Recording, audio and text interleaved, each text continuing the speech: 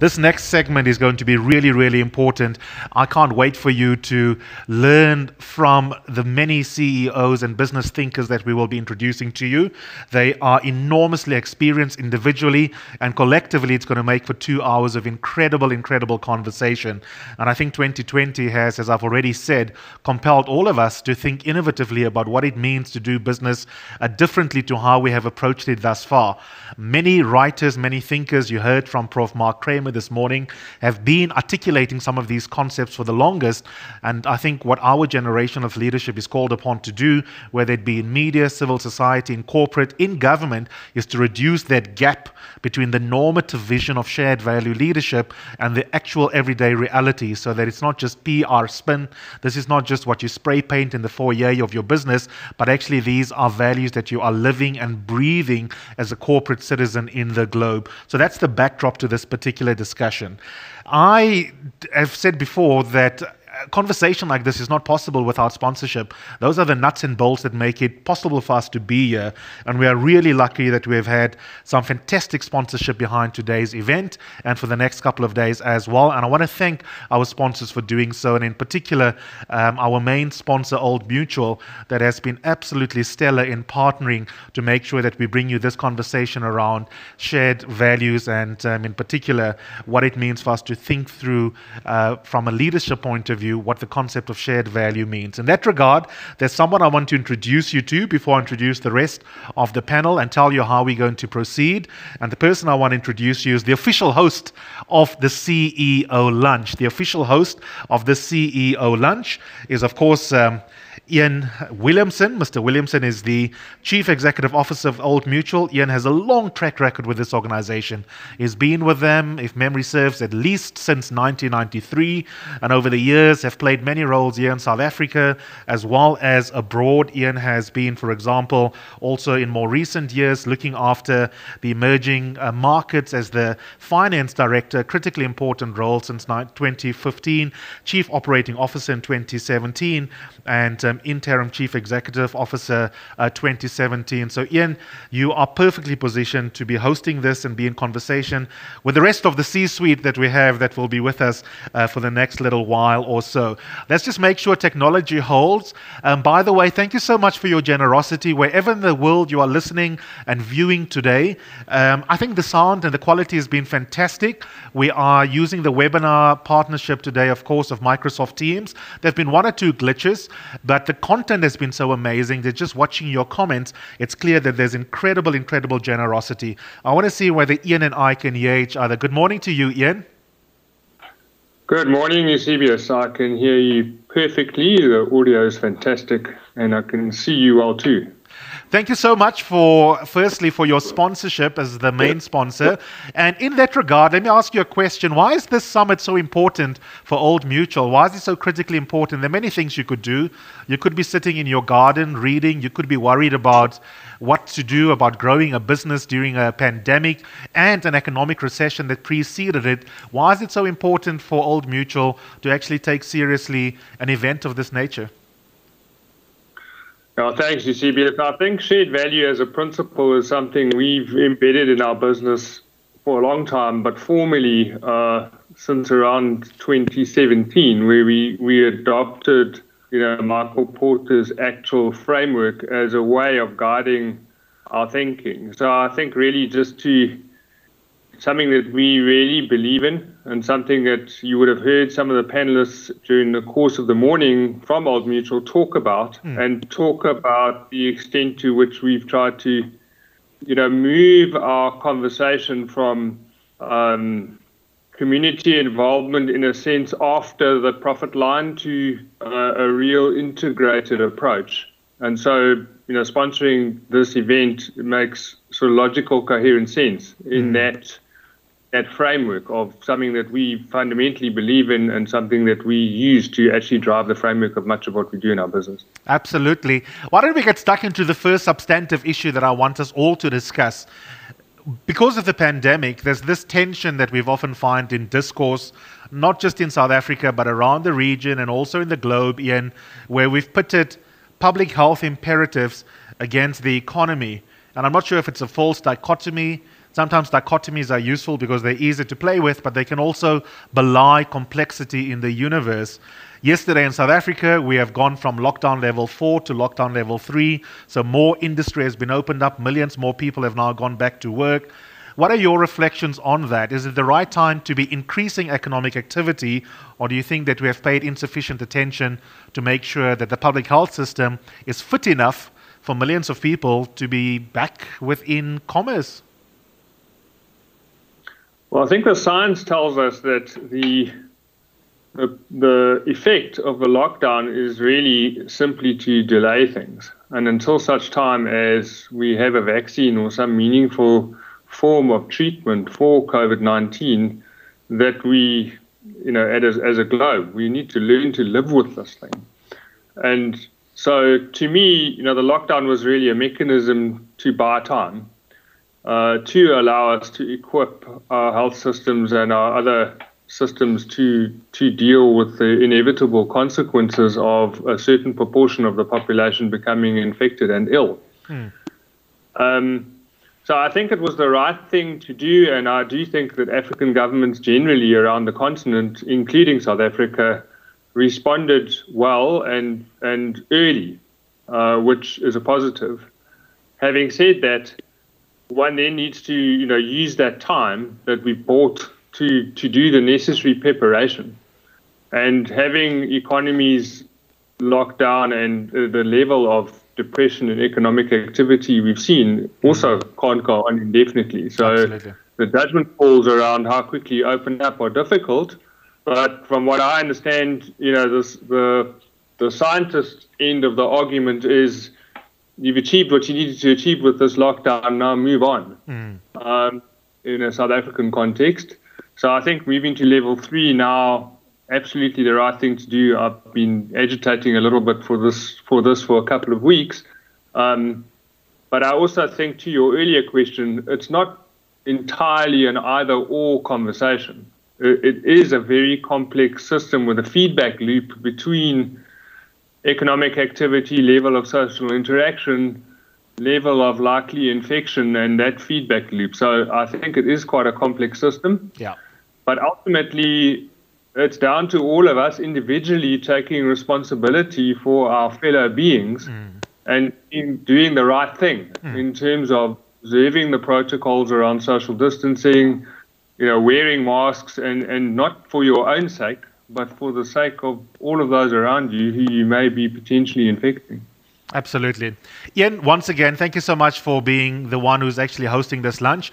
I'm just moderating this conversation and for Old Mutual for being behind this event. So, this is how we're going to proceed.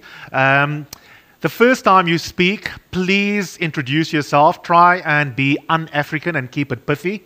Um, that's not to say we don't want you to acknowledge who you are and what your company is or who your organization is that you are representing.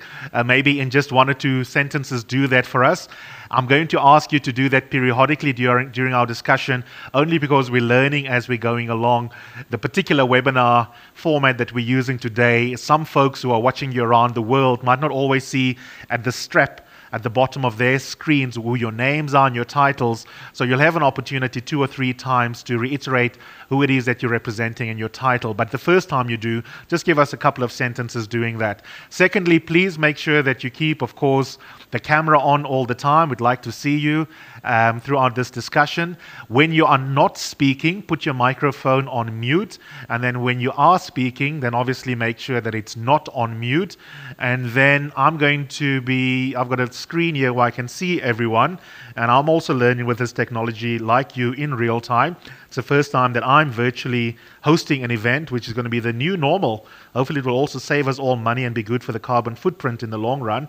Um, use the digital hand. Just click on it, and then I know that you want to speak when you do that, and um, that that's that's fantastic. I'm horrible with names. I know who all of you are. I'm in awe of your achievements. But over the course of the next uh, hour and a half or so, we'll get to know each other a little bit uh, more intimately, and we're just going to have a free-flowing discussion, and we'll see how it goes. And um, you know, if there are gremlins that pop up, we'll deal with them as and when as and when that happens. If you are one of the participants who's watching around the world, um, if we have time, we'll take questions. I like as much of a participati- participatory dialogue as possible. And my team here, that's absolutely amazing here in Johannesburg, will signal to me if there's an opportunity for us to also call up some of the questions that are popping up, particularly if some are recurring and those patterns mean there's some urgent issues not on my mind, but on your mind, wherever home is for you as you are watching and listening to this conversation. So, those are the rules of engagement. I'll role model how to keep it pithy. Um, if you do not know me, that's perfectly fine. I am Eusebius McKaiser. I'm a broadcaster. I am an author and I'm a philosophy lecturer, and I'm based here in Johannesburg. And I have the distinct pleasure today of a day off my day job and having this far more enriching uh, conversation. Don't say that to my radio listeners. Learning and listening very closely to the excellent, excellent speakers and panelists uh, that Tiki Barnard and her team with uh, the help of Old Mutual have put together for us. So I'm just going to keep it open, and whoever puts up their hand first can be our first speaker. Tell us your name, who you represent, and answer for me the same question that I had put to Iain, because I think that is a question that immediately is a question that all of you in positions of leadership have to deal with. Have we got that balance right between thinking through the economic challenges of our countries, and on the other hand, we are told that compared to the global north, we cannot afford to have increased economic activity because if countries like Italy, countries like the USA are unable to deal with the public health burden that comes with COVID 19, then apparently in Africa, we are told we should be even more cautious uh, because our systems aren't fit to be able to deal with high volumes of people that may need access to public health care in the, in the immediate term, not even in the medium to long term. What are some of your thoughts there and your reactions to what Iain had said? Anyone can start us off.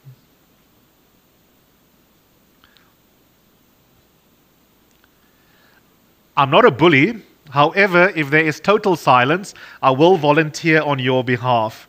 Um, if I can, it's just happened to be randomly the first name that uh, my eyes are falling on um, is Hylton. Hylton, why don't you clear your throat for me? Tell us who you are um, and what your thoughts are around this particular question. Um, thanks, Eusebius. Uh, so, so, as you said, uh, Hylton Kallner, I'm the CEO of, uh, of Discovery um, in South Africa, and uh, and you know I think it's the reason why I think there was that sort of immediate silence is because nobody knows the answer. This is uh, this is one of those this is one of those questions that that uh, that that that is is completely uncertain. We're in uncharted territory. We track we track the numbers daily. We plugged into the pathology systems. You know, we cover um, for those people that are that are watching um, across the globe. Uh, Discovery is the biggest private health insurer in uh, in South Africa. We cover about three and a half million um, lives, um, and we also have we also have a, a very large um, life insurance um, life insurance business, and and so we are sort of intimately involved in uh, in in measuring, analyzing, understanding the trends, and and the one thing we know for certain is that up until this point, our government has done a great job in terms of in terms of the steps taken um, around the lockdown. The uh, the the trade-off between health and the economy is is one which just doesn't have just doesn't have a right or wrong answer. I think Iain uh, Iain made uh, Iain made that point, and that's the that's the trade-off that we that we sort of and the tightrope uh, the tightrope that we're now walking. Um, I think what it does require is is agility, the ability to pull back, um, the ability to sort of move forward, and to do so based on, on sort of the, the data on the ground. Um, the one thing I think that every country around the world has seen is that the healthcare systems are not equipped and are not adequate to be able to handle the numbers that, that are that are coming. And I think it's difficult to it's difficult for any any society to sort of interpret that while while the hospitals themselves are not full.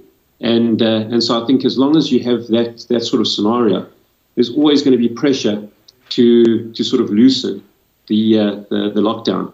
Um, and, and sort of a, a difficulty in, in sort of uh, suppressing economic activity while there's still capacity in the healthcare system. And I think that's the, that's the sort of the, the complexity that, uh, that we're faced with. Um, against every single global benchmark, what we're seeing is that, is that the steps taken thus far are and and and now I think it's that sort of that um, uh, phasing in of uh, of economic activity that will I think ultimately determine how we judged in terms of how we've managed the uh, the, the pandemic. So so I guess um, the, the the complexity that, that everybody is faced with now is simply in, in how that's being managed. From our perspective, what we're trying to do is keep all of our people at home as much as possible. Mm. That's not just for their sake, but for the sake of the people that we have in the office as well. So I think what we have seen is that is that the, the sort of the, the work environment is very very difficult to to control um, when you do have when you do have uh, people infected, um, and therefore the, the best action that we can take at the moment is for our people keep them at home and, and, and adopt as far as possible a work from home uh, approach. We've moved we moved about 9,000 people um, to uh, to to work from home, and and that's that that's worked exceptionally well. Absolutely. Um, for our clients, mm. for our clients, what we've done is is sort of risk rated them um, using our data to be able to understand who are most at risk. Um, if they are infected of developing complications and reaching out to them positively and educating them through that process um, and around the steps to take. And where people are infected, give them the best tools possible to be able to to be able to manage um, their, uh, their, their condition. So yeah. so these are tough times. Yeah, Peter, um, maybe you can come in here. Hylton, that makes absolute sense. There is a weird gift that we have for the rest of the universe as Africans, um, and that is that we've dealt so much with infectious diseases. We've had to deal with everything from HIV, AIDS to Ebola to tuberculosis as well. And so I wonder, despite the fact that we are having this existential crisis as a globe around this question that Hylton has spoken into so beautifully with Iain around the complexity, how do we tackle it, Peter? What comes up for you as you listen to the two other panel members thus far. Please start off firstly by just introducing us to you. Peter, can you hear me? Okay, if Peter can't, anyone else can jump no, in. I can. I can. Is it? Uh, yeah, go ahead. Can you hear me? Loud and clear. Okay. Thank you, Eusebia Sanda. Thank you, uh, Hylton, and, and, and also Iain. Uh, so my name is uh, Peter Ndegwa. I am the new CEO uh, of uh, Safaricom. Safaricom is the largest uh, telecommunication business in Eastern Africa, but also owns uh, the, the largest mobile provider, mobile money provider called M-Pesa. so, so actually we are in the heart of everything that's going on at, the, at this stage in terms of we are an essential service during this period uh, so our primary objective is, of course, to keep the country connected, but also to prevent infection, to, al- to allow people to uh, to actually do commerce and and uh, uh connect together. We're also using M-Pesa uh, as a way of enabling the economy to operate. I think the second is last year we were the host, uh, and I want to recognize the late Bob Collymore, who actually gave the keynote speech in Nairobi, and and this whole area of uh, shared value, it was an area that he was very passionate uh, about. And Safaricom has been known to, as, as a business that uh, really shares that.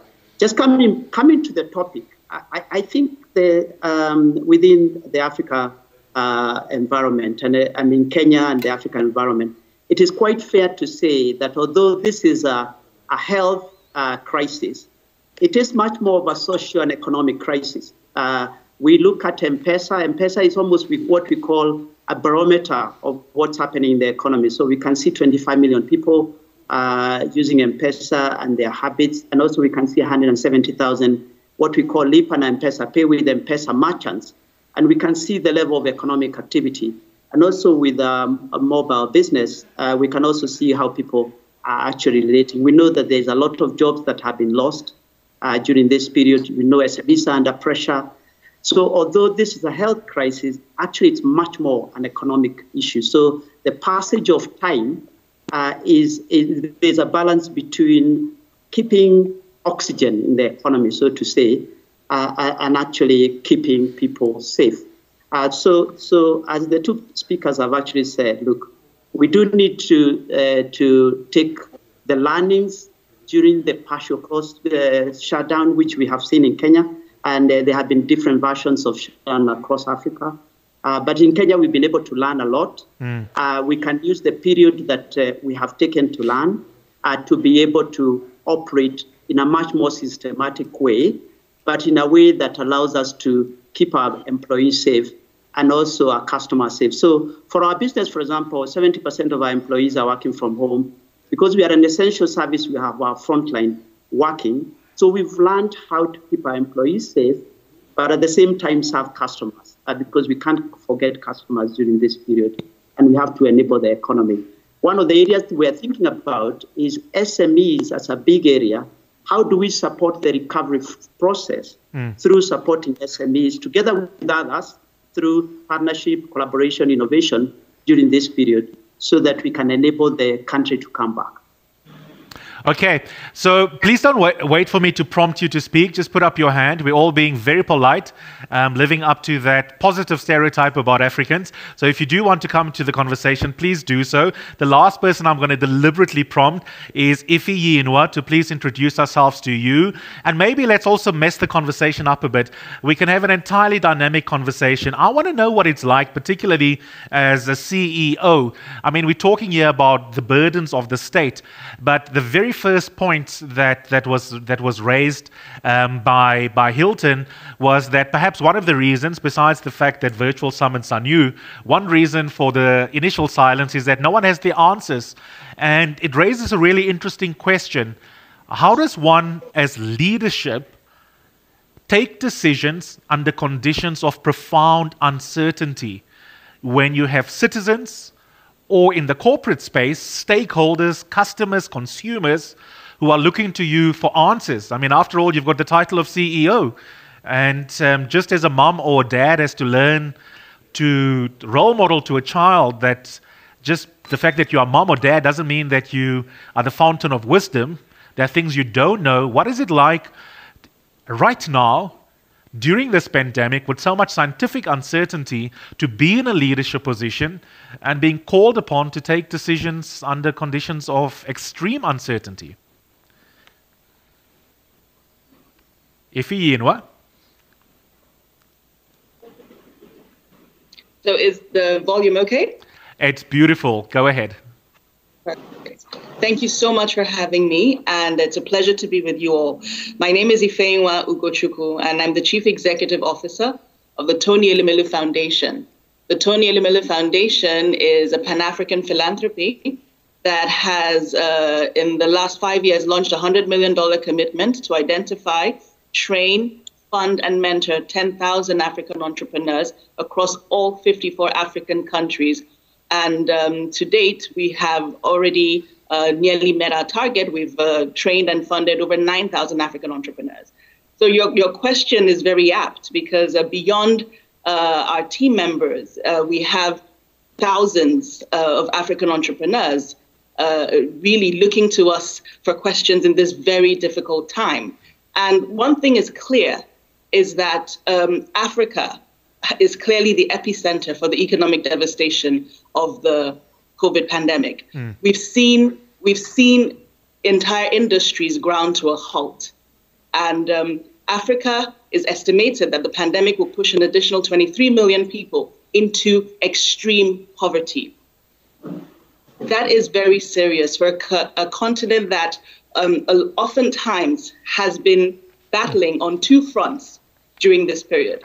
We battle not just the COVID pandemic, but also the hunger pandemic. One of the first things that uh, uh, was highlighted during the lockdown was the fact that how do you ask uh, uh millions who live in very cramped spaces mm. and depend on our daily movement for their everyday uh, uh, earnings in order to put food on the table? How do you ask them to sit at home without food in the fridges or without food to eat? And so we found that food systems, food security is a very clear and present challenge in the African economy. Mm. So we are dealing with um, over 250 million uh, young people who depend on the informal uh, uh, uh, employment in the urban sectors from small and medium enterprises.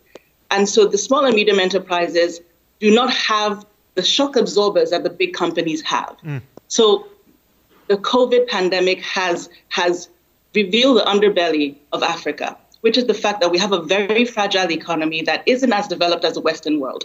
Because we know that in the West, as people were asked to stay at home, they were giving palliatives. They were given, you know, thousands of dollars paid into accounts so that they could be able to stay at home.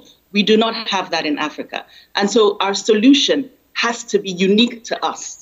Our solution has to take into, into uh, has to take um, cognizance of the fact that Africa is unique. Africa has very unique socioeconomic landscape. And if we are going to come out of this, we need to dig deep and we need to leverage our inborn resilience. And that is the message that we have given to our entrepreneurs, to our team members, to our ecosystem. Steve Jobs, one of his favorite quotes is that innovation is the ability to see change and challenges as an opportunity and not as a threat. And that is what we must see the COVID pandemic for Africa. That it is a unique opportunity for us all to pause, for us all to rethink our way of doing things and to reprioritize, to reprioritize those shared social values, to, re- to reprioritize uh, um, you know, empowerment of the most vulnerable in our in our communities, to reprioritize food security, to reprioritize and know that our focus must be the real economy and not the finance-driven economy. Our focus has to be on productivity. Our focus has to be on on on on you know human development and human capital. And so, to answer your question, how have we how have we in a time that's been so much uncertainty shared the message of hope. Um, that is one thing that our foundation is based on. Mm. Uh, our, our, our, belief that the private sector has the power to transform Africa, has the power to, to catalyze economic development. And so this message for us is has never been more important than now. And that is what we're sharing with our team members, with our entrepreneurs, and with the entire uh, stakeholders. Last week, our founder, Mr. Tony Elumelu, um, led a high-level panel comprising the President of Liberia, the Administrator of the UNDP, Achim Steiner, uh, the Secretary General of the African, Caribbean, uh, Pacific nations. And one of the things that stood out, uh, President Oramah of Afreximbank was also there. One of the things that stood out is that there has never been a time to come together as Africans than now. We need to create a global, uh, an African response to, to the COVID pandemic we need to leverage the lessons learned and see it as an opportunity to catalyze activity. Take, for instance, the Africa Continental Free Trade Agreement. We have, we're at a crossroads. We can either leverage the, the, the, the, this period as a catalyst to accelerate the implementation, or we can allow uh, this period to be a tranquilizer that leads us into the death sleep of inaction. The point is, yeah. innovation is the key and we must focus on what we can do. And now more than ever, we're able to stay connected. Look at this event, for instance. Mm. Usually, it would take all of us carving three days out of our schedule, getting on a plane to be together. But now, just by the click of a button, we're all together. We're able to connect. How do we leverage these powerful connections? Absolutely. To, to, to point yeah. a, a, a, a, very united challenge to the problem. I think mm. together we can leverage this to see much more development across our continent. Yeah, thanks so much for that, Ifeanyi. Much appreciated. Rebecca, maybe I can bring you in here. I desperately want to agree with her. I love the fact that there's positive energy, solutions driven, that we have faith if we are to believe your fellow panelists in the possibility that even private enterprise can be leveraged for the purposes of creating value that in turn can then become shared value. And and then there's the skeptic in me that's just inherent in my background as a philosophy student that questions everything. And I think to myself, but what about the track record though? It's very often been businesses that have had their proboscis in communities taken rather than shared the value that is extracted. It has often been business that has been in cahoots with governments around the region that have created kleptocratic relationships that haven't benefited the citizens of Africa. And in that scenario, there is, to borrow from a title of one of our earlier panels, a gap between shared value almost as a norm or a vision and, and, a, and a reality of millions of African citizens still waiting for Uhuru. And I wonder whether you share the optimism of what you've just heard there, Rebecca.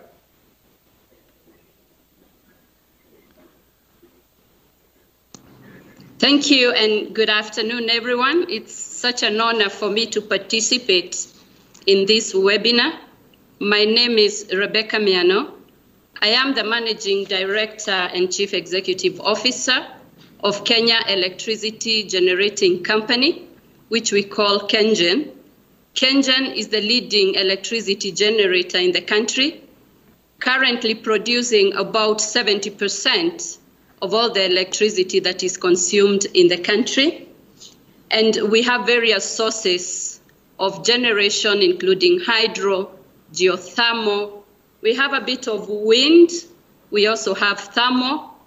But I'm glad to say that currently we have over 85% in renewable and green energy, and the remaining 15% then from non renewable sources but the government is determined to pull up the numbers and probably in the coming years be 100% renewable energy. And electricity generation is an essential service. Just like Safaricom said, we are at the heart of it, making sure the economy is moving, making sure the health facilities are working, and even the connectivity that Safaricom has is supported by electricity. And I like what you asked about leadership at a time like this.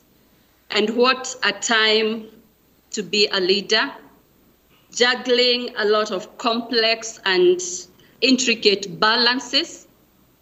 And for us here at KenGen, considering that we are an essential service, we operate machines which we cannot operate from home. And when there is that this rallying call that stay at home, work from home, so what do I do? I cannot stay at home. I have to convince my team, but nonetheless, we are an essential service. But in terms of leadership, I see it as a time, as a leader, where you have to stand out as a real role model. We have read books, we have been using phrases, but nature has given us an opportunity to really test what we believe in that. Have to remain the hope giver. You have to be the leader that people trust by everything you do. Mm. You have to keep people focused good communication. You've got to be on top of things such that you are the source of reliable, reliable communication. You do not fret. You're not afraid because everybody is looking at you. I've also seen that it is a time that we cannot afford to excuse indiscipline or let lack of accountability reign in the excuse of a pandemic, but a time to ensure that we continue to deliver, we continue delivering on our goals and keeping the country moving forward. And we have a three pronged approach in this, responding to the pandemic. One of it is to guarantee electricity supply no matter what. Hmm. This involves then putting your shifts in the right place, having some people that are isolated in case there is infection, and all those tidying up things that we have to do it while ensuring we are compliant with the measures given. Then we have social support. Our operations are located within communities, and we cannot succeed if we do not partner with the communities. So we have the whole of these operations working together with the communities, supporting them, having awareness, providing them with all the necessities that are required.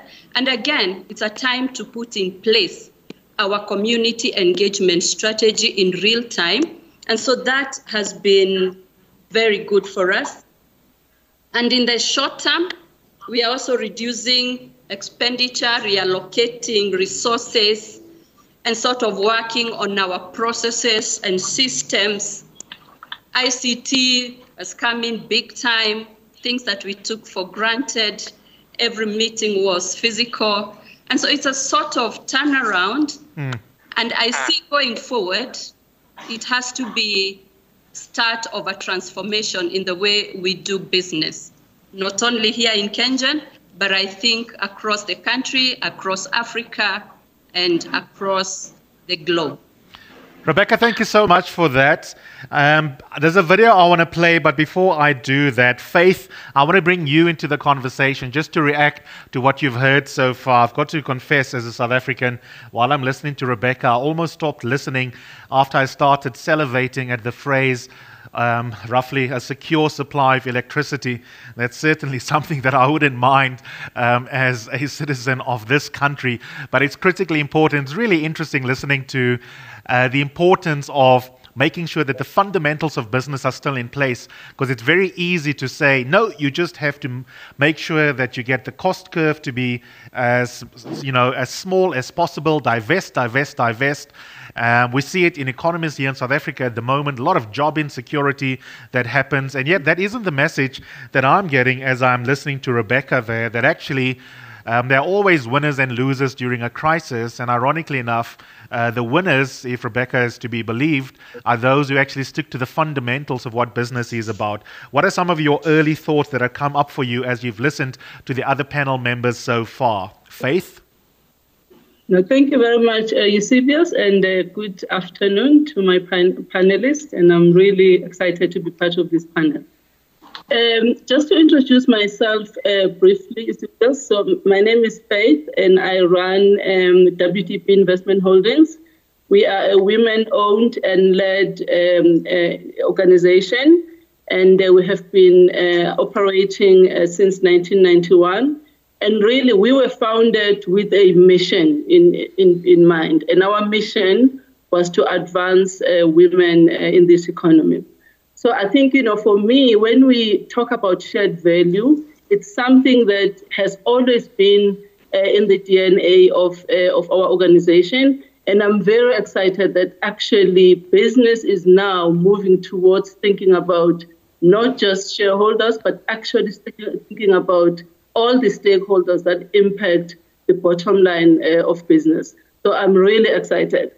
But I mean, I think if I look at, you know, how this pandemic, you know, has impacted, you know, not just our business, but obviously also South Africa and, uh, and humanity, I really want to agree, Eusebius, with my panelists that I think this is the time uh, to reset. And I think We've talked a lot as South Africans and as Africans. We be, we're very good at talking, but now it's about taking actions because I think we've realized that, you know, this, this pandemic has laid bare some of the deep inequalities, for example, uh, that really this continent and humanity uh, uh, faces. And I really believe that business has got a huge role to play in looking at different economic models that are more inclusive, you know, mm. because without having an inclusive, um, you know, business model, we are not going to address, you know, the, the inequalities, the economic inequalities that, you know, that, uh, that we face as a continent, but also globally. I mean, we've seen what is happening in America as well. So I think that, you know, this pandemic, and I agree with my uh, panelists that it's time for reflection. It's time for, for us to look, you know, to look very deep inside of ourselves, but also look at what we as leaders can do differently to really be the change that we want to see. Because, I mean, I think for us, we cannot accept that, you know, we've got people that are, are running around hungry, chasing for food, while this continent, I mean, we are one of the, you know, we, we've got wealth you know, but this wealth, unfortunately, is not being distributed fairly. So I really, you see, because I really pray that, you know, mm. this is going to be a wake up call for all of us, that our consciousness as leaders is really raised. But, you know, it doesn't end there. You know, it, it, we have to take action. And it's, it's government, it's business, it's civil society. I think this is the time for us to really just reset and rethink and really just take, you know, action that is different from the action mm. that, you know, even like taken about three months ago. So I think it's Faith, very can exciting. I, that, can I just stick with you? Yes. I want to ask you a follow-up question before I play the video. And then after that, we'll bring in other voices that we haven't heard yet. But I want to stick with you for just one minute.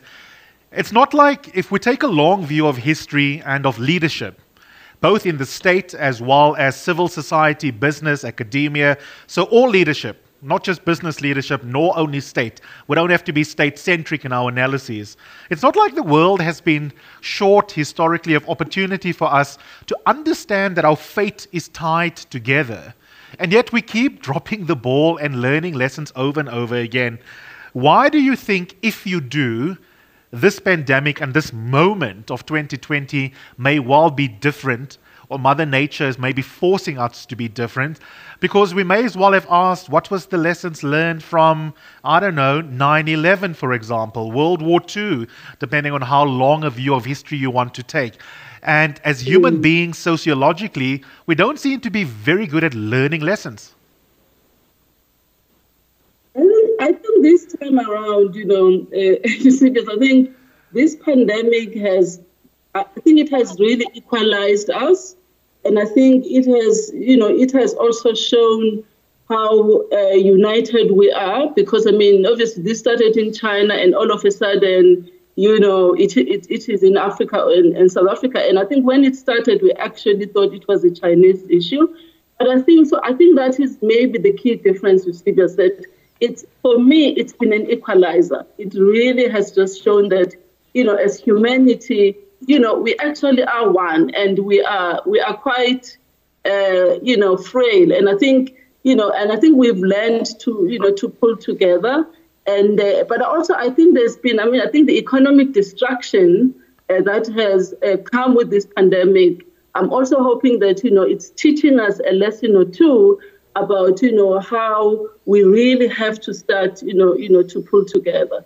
So that's really, I think probably Eusebius is more of a hope, but I just think that, you know, also the way we have responded as, as humanity, as, as states around the world has been different because I think we've really tried to, you know, to club together. Of course, there has been exceptions, sure. but, uh, you know, if you look at, you know, sort of like in general, there really has been that sort of like, you know, coming together for a solution as humanity and really just trying to see how we can work together to deal with the pandemic. 100%. There's a video that I want us to play.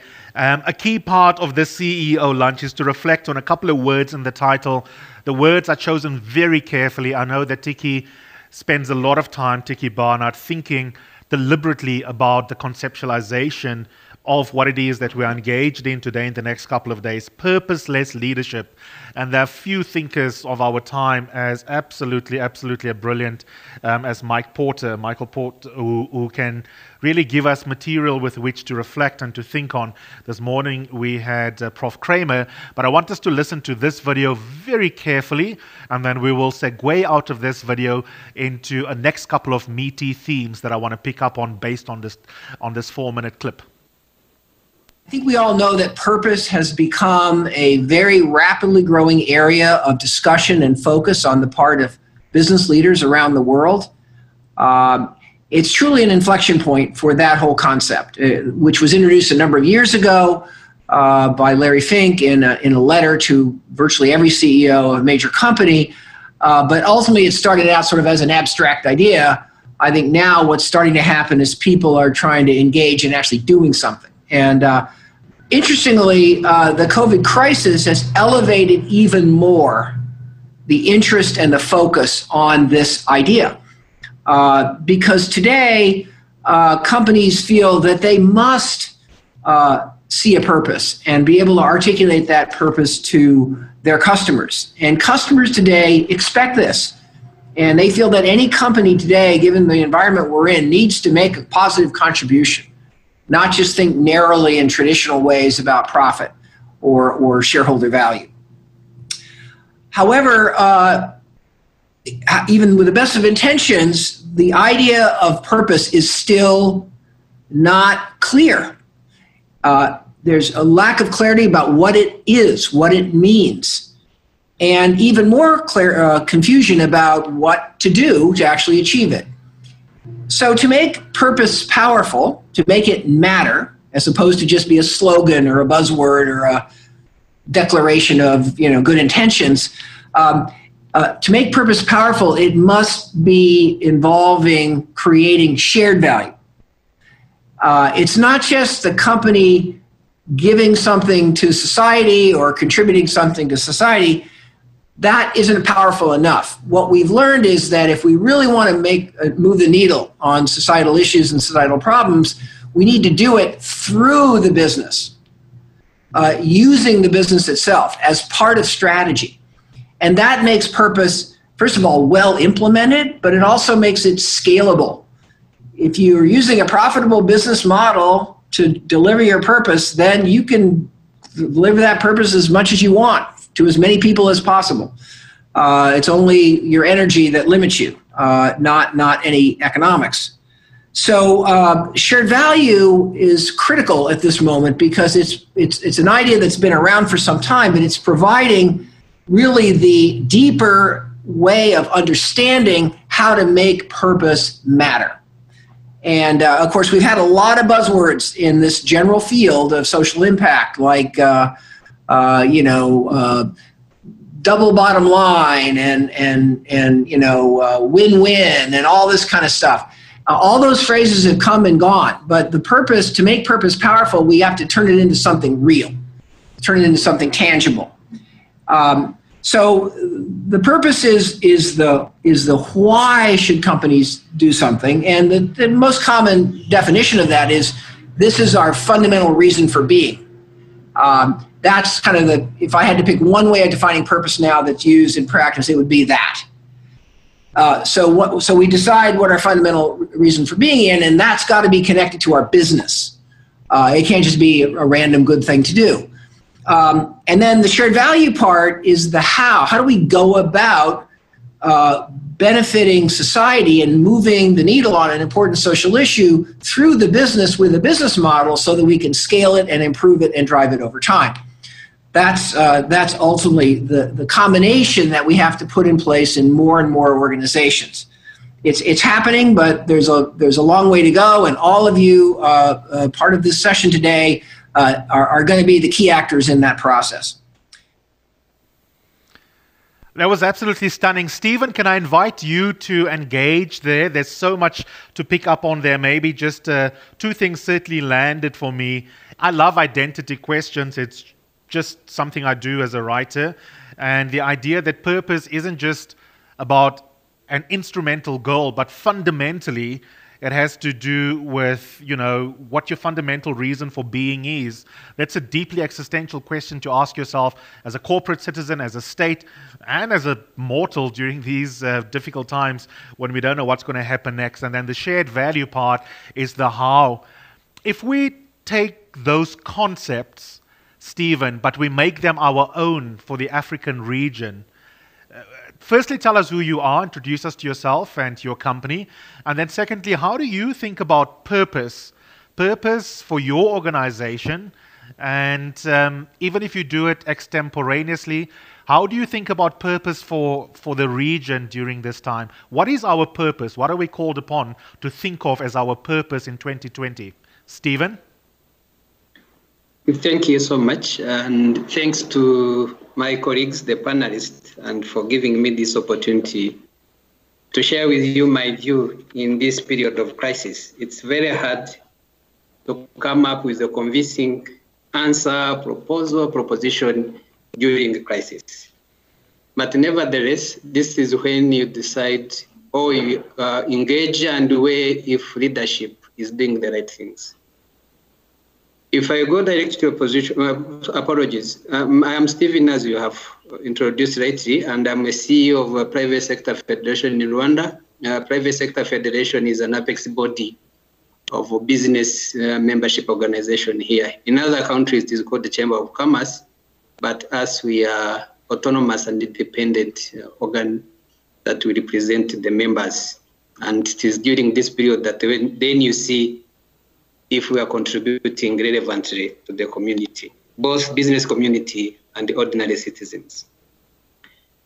Uh, the question, uh, how do you drive the purpose at the moment is difficult one, but I'll try to give it a go. If you wanted to see the purpose uh, in a bigger context is you do to yourself or to others what you would want to be done to you. That is the purpose. If the positions were changed and you're at the receiving end, is what you're receiving what you would really, in the normal circumstances and even extraordinary circumstances like this one, is what you're receiving. If I give an example during this crisis in Rwanda, the business community had a hand. Normally, it is not their responsibility per se. During this crisis, the members of business community contributed both in cash and in kind towards to the government to fight or try to manage the crisis. Business had closed, movement had come to the standstill, people were staying at home.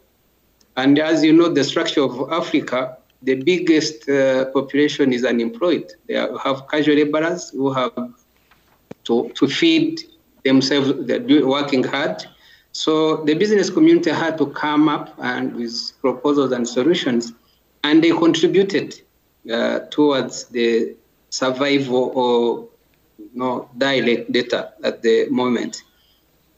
In terms of the purpose of an organization, I'll compare it with uh, an ICU, an intensive care unit in a hospital, where you get someone from uh, operation theater and expect to find the supporting machine working during the crisis. That's when you see the best uh, contribution of a purpose-driven organization.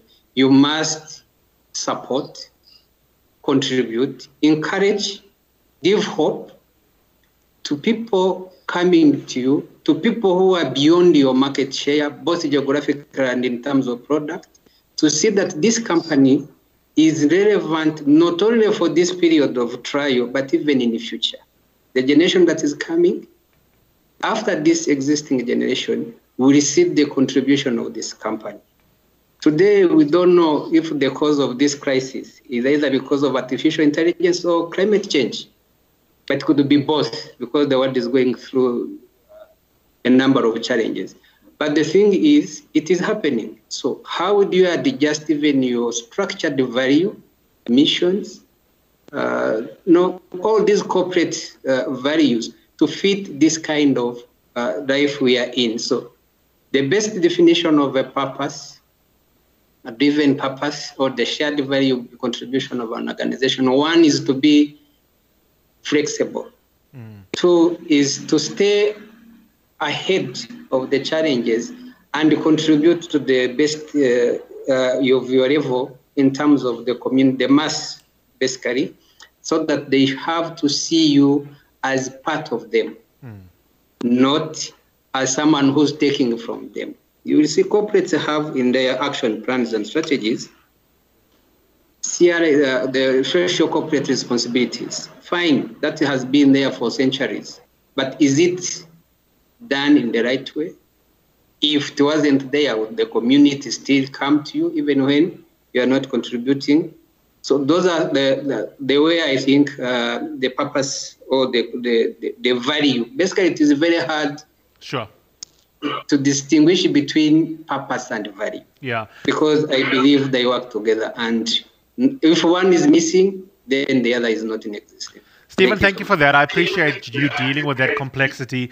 Ellen, can I ask you to come into the conversation at this point?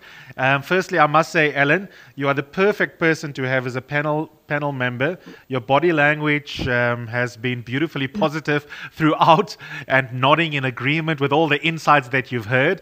Um, and thank you for patiently waiting your own turn to come in. You don't have to be patient, by the way, just put up your hand digitally. But I want you to come in here. A number of speakers, including the academics, have reiterated a practical imperative. We have got to give practical meaning to concepts like shared value and purpose. There's no point in them being highfalutin. We could have a university seminar on what they mean theoretically, but in order to transform the material conditions of society, we've got to give them as much practical volume as possible. How might we do that, even if we don't have all of the answers to the complexities? Well, first, thank you so much for your kind comments. I was sort of laughing because I thought I um, I'm actually here in the United States, and I thought, oh, maybe this is a I'm the only non-African CEO I think invited here, and also I'm having a, a, a sunrise of meeting here instead of a luncheon meeting.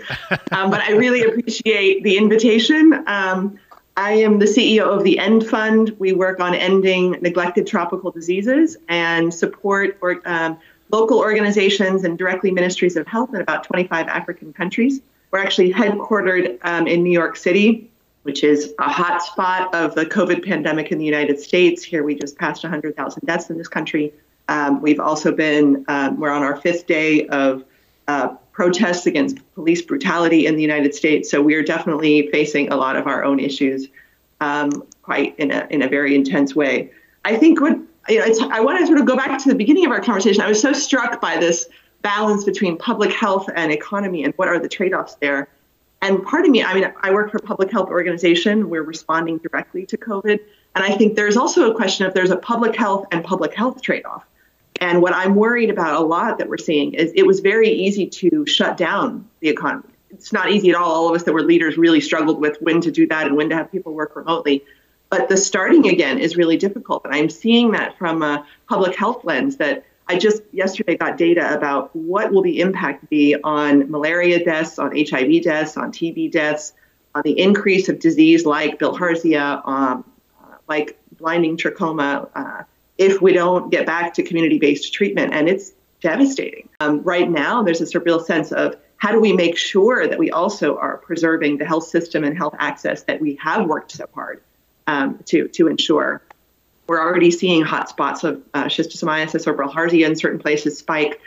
Um, and, I, and what we're looking for is how do we do all of that safely with additional training, with PPE. I so appreciated um, KenGen and um, Safaricom talking about like essential services and figured out like how to still do these frontline work and be safe. I think we need to think the same way as uh, community health workers are, are essential services. And um, in many places still we haven't figured out how to ensure continuity of care um, to the most vulnerable. Um, I think that there's this idea of purpose. You know, I have worked in the nonprofit sector for almost 30 years now, and there's never been a day that we don't think about purpose in the nonprofit sector. You know, we we work inside of mission-driven, incredibly um, focused on how do you provide social good. But there's been a, a, a desire, I think, in the social sector for all of these decades how do we learn from the private sector? How do we get more efficient? How do we get more targeted? How do we have better KPIs? How can we run nonprofits like we would for profits? And I feel like right now, actually, we need to flip the story. What can for profits learn from not for profits about creating, uh, you know, passionate workforce that's also thinking about social good that does, you know, drive to real um, the, the clarity of, of impacts for not, you know, just shareholders, but broad base of stakeholders. So I really love that this blended learning is happening between our, our different sectors. Um, I think that this is a, I, I love that we're all on a webinar right now. It's so true. I would have flown to Johannesburg for this conference on a, on a, on a usual day and everybody, I think things that I would have, I would have previously thought would be rude or culturally inappropriate to do by webinar. Um, we're all figuring out how to do that now. And actually, you're right, reduce our carbon footprint. Um, I also think, I mean, for me personally, reflecting on watching the Africa response to COVID. I was in Rwanda in February, and I, you know, as the world's waking up and thinking, how can we take this uh, more seriously? And I think at the airport, I, you know, was asked questions about who I'd contact. My temperature was taken. There was education materials everywhere. Um, you know, it was like really a deep understanding of what is contact tracing. How do you nip infectious disease in the bud? When I came back to the U.S., there was none of that. And you know, there is a little bit of um, you know, I guess part confusion and part just misunderstanding mm. of like why COVID hasn't impacted Africa as much, and oh, the climate is it it's different. And I'm like, you know, Africa's really good at dealing with infectious disease, and actually, there's something to be quite you know proud of in terms of how to show some of that to the rest of the world. I mean, there's a lot of um, conspiracy theories going around here in sure. the U.S. about what contact tracing, and I'm like, contact tracing is basic public health. You know, all of us need to you know, we're becoming amateur epidemiologists and need to keep up that that education. Mm. Uh, so I just am, uh, you know, quite quite hopeful actually for how much African leaders have to show for responsiveness to public health outbreaks. How the corporate sector has really been at the lead of, of ensuring um, um, effective response. Um, and I agree that there's uh, just the sense of figuring out how to be really place based in what our response is to back opening up because there's a lot of places that really are ready to, yeah. to open up um, and that needs to be taken seriously Ellen, so thank, thank you. you. for that that was that was very incisive millions of issues that you raised there worth picking up on but um, I want to play game as I promised um, the first person who's actually role model how to digitally raise their hand is Marion, and I was going to come to you, Marion. Thank you so much for doing so. Uh, the floor is all yours. Go right ahead. Uh, thank you very much for this opportunity and other other panelists. Uh, thank you, Iain, for sponsoring uh, Hylton. And I, I, like really what what uh, Peter Ndegwa said about about um, balancing public health with, with, with trade and what they're doing as Safaricom, and also what Rebecca and and uh, Ife Ifeyinwa quite passionately said, dig deep. And I think this is really the time to dig deep and and and thank you to Rebecca and, and, and Stephen and Ellen who just came who just came now. Uh, my name is Marion Mwangi. I'm the managing director of uh, BOC. BOC is a member of the Linde Group. is the biggest um, oxygen manufacturing company in Kenya. Uh, pure oxygen, 99.95% for hospital use. Um, and BOC is involved in many, many aspects of industry. There's no industry that we don't touch in our, in our, in our aspect. So 50% of our business is, is, is likely the industry business, and then the other 50% is medical oxygen production and nitrous oxide and other gases that are used in hospitals, um, including including the, the ones that are used to, to manage machines in ICUs and, and other, other, other, other special care. So we are an essential services company. Uh, we've been in Kenya for about 80 years. Um, and this this time, this this COVID time has really taught us a lot of lessons. So I wouldn't go back to what has been spoken about trading off because you can't really trade off.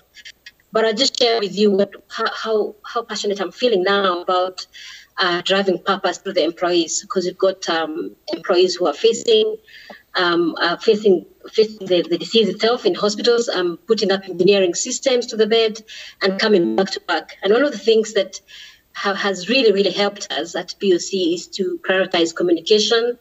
So even if there's uh, social distancing and other public health measures, we're still having uh, meetings at the car park. So one and a half meters away and just speaking about how do you feel? And because we want employees to feel that they can still contribute to the, to the purpose that we've set out uh, for ourselves. I mean, we all know that that uh, oxygen distribution is very low. I mean, the number the numbers are out there, and, and accessibility is is a big issue. So we spinned our, our, our purpose to really go to social good. And I, I like what you learn from Alan on, on from from social enterprises. Um, and for, for us personally, and this is this is actually what Stephen touched on, um, employees identify with things that are simple and processes that they can relate to. So what we what we have really focused on is the universal law of cause and effect. I think that's that's basically uh, what Stephen brought out from mm. from Rwanda. Um, the three principles really is that there's exactness. If, if, if you put in the work now, you're going to get a good result. Um, even if there's a time lag, between the time you you, um, you engage with, with hospitals or the decision makers at this time, you will get the result that you've, you've, you've sort of planted. And once you're doing the right thing, you're going to have a multiplier effect. Um, sort of what you say when you plant one apple, you get many, many, many. So this is a time for us to dig deep into our capability and to trust that we're going to have a good multiplier effect if we work together as as um, as as as Kenyans, as Africans, as people who are interested in the mm-hmm. good, in the good of uh, in the good of, of, the human face, and and for us, we've developed virtues around these three principles of exactness, time lag, and, and multiply effect, and we discussed them during our town halls. Our colleagues two week two weeks ago uh, moved in on site, and they're living here on site, just to make sure that they don't get infected, and that we can supply oxygen to to the hospitals. Mm. And that for me was just the, the check that our purpose is working. Mm. Because the idea actually came from the shop floor. We said they said if one of us tested positive, how would we produce oxygen? How would we save the lives of Kenyans? Mm. And I thought what a, what a beautiful idea. And, and we are accommodating them here now. Um, I, I, I, like the, the, the, dialing that we do to them and what they say, the, the reason they're doing that. I don't have to speak about purpose anymore. They are speaking about it with each other. Um, and I think that this conversation, and if, if, if I've, this is my first time to attend this um, this forum, I, would go anytime because this is such a good conversation and I've learned quite a lot. Um, and I hope that this contribution is, is worthwhile. Absolutely, it is, Marion. I can guarantee you. Clare, I want to bring you in here. Um, I want to pick up on something a little bit earlier that Faith had said when I'd asked the question shouldn't we be skeptical? Human beings, sociologically, have demonstrated across time and place that we don't learn lessons from history. We've been gifted many crises that we have wasted over the years. But of course, we can then demonstrate to future generations how to do it differently. And very often there is a tension that is set up, maybe it's a media fiction, between civil society, business, labor, and government.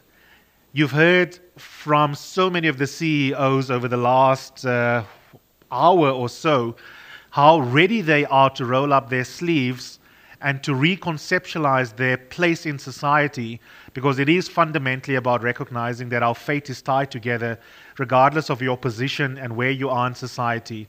What has come up for you over the last hour in general, and in particular, what more specifically, should be the attitude of governments around the continent when they think about big business and the relationship between government and big business during 2020?